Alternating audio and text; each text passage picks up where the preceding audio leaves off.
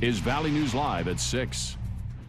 A lot of people have been going out there for many, many years, longer than I have.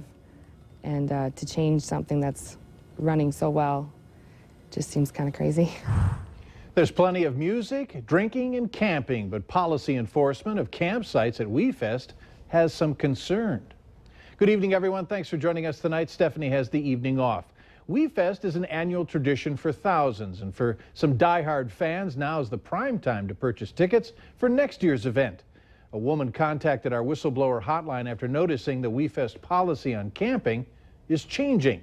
As Valley News Team's Ashley Bishop explains, some think it will change the entire camping experience. Trash bags are all that is left on the campsites at WeFest grounds from this year. But many people, like Trisha Ellertson and her friends, have bought tickets for next year's concerts. Well, the biggest reason we go is to be with our friends. For the past 18 years, Trisha has been camping at WeFest with her friends, who come from all across the state of Minnesota. When buying tickets this year, Trisha noticed that camping would be different. We saw on the website that they were going to put everyone in as they drove in instead of kind of the way we've been doing it. We just kind of pick a spot and, and save some spots for everybody. Concerned that they changed the policy, Trisha emailed WeFest, only getting a response that if you wish to camp together, you must arrive together. If we got on this road at the same time, the traffic, the way it is going in there, you could get split up just from the cops directing traffic here and there. WeFest officials did not want to appear on camera, but do tell us this is not a new policy. They say if you plan to camp with family and friends, you should arrive together, and they do plan on enforcing the rules.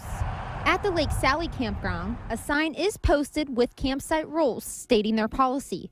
Trisha says camping with her friends is a huge part of the WeFest experience and worries about who she might be placed next to next year.